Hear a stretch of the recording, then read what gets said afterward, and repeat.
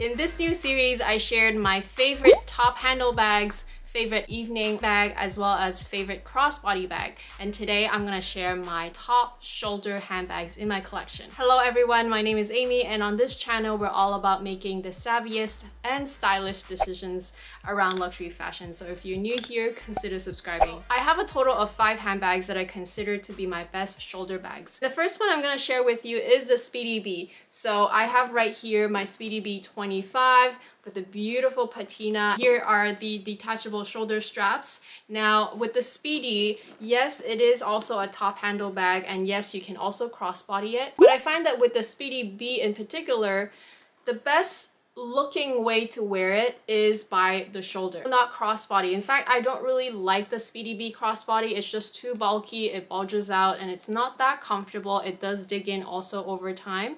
I feel like on the shoulder, even if it's a little long, I like it more. I don't mind it by the top handle, but I don't consider it to be my most comfortable top handle bag. The Speedy is one of my least worn bag. In fact, I don't know if I even wore it this past year. And it's not in any way the fault of the bag because it is a classic and it's lovely, but it's just not really my style anymore and it's not really a size that I prefer to wear in general. So that's why it's my least worn, although it is a really good classic, so I do hesitate letting it go. I think we can all agree that the classic flap is the perfect shoulder bag, especially because there's no real other ways of wearing it. Whether you go with the small or the medium or the jumbo. I feel like the small and medium, you can sometimes crossbody it if you're really petite, but with the jumbo, if you crossbody it, it will look so ridiculous, no matter how tall you are because the straps are so super long. Therefore, the classic flap for me is the perfect shoulder bag and it looks the best when worn on the shoulder.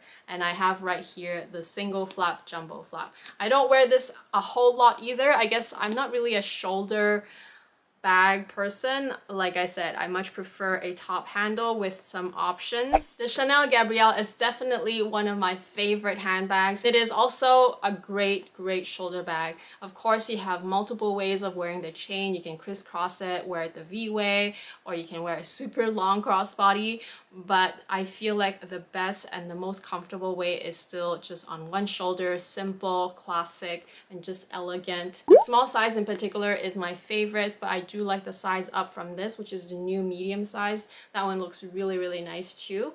But for me, the small size is more than enough and definitely one of my most favorite style. It's very understated, very edgy, but just so comfortable as well. So my reissue is from last year's Métier d'Art collection, which is very special, very limited. It is the graffiti in the gold, and it is in this beautiful croc embossed leather and it's really really stunning. In my opinion this bag even though you can crossbody it it still looks the best when you wear on the shoulder just a little short doubled up. It's so pretty. It's great for date night. It just looks so stunning and it's so easy to dress it down as well as dress it up. I have here the coco handle in the mini size and this one is in also this beautiful uh, blue caviar leather with snake skin. So this is one of the last collections where they still had exotic handles and because of that reason it is also fully lined in leather and it's stunning it's beautiful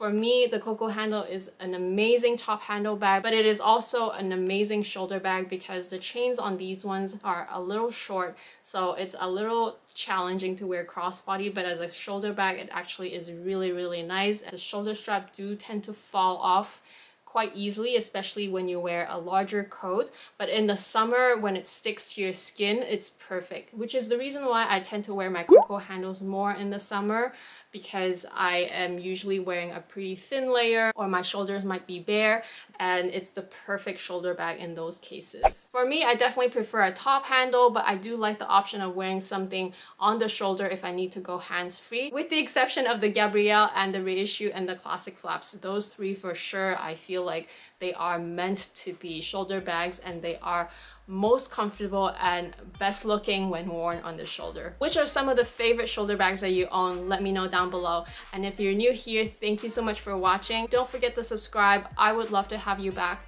And I'll talk to you all again very soon. Bye!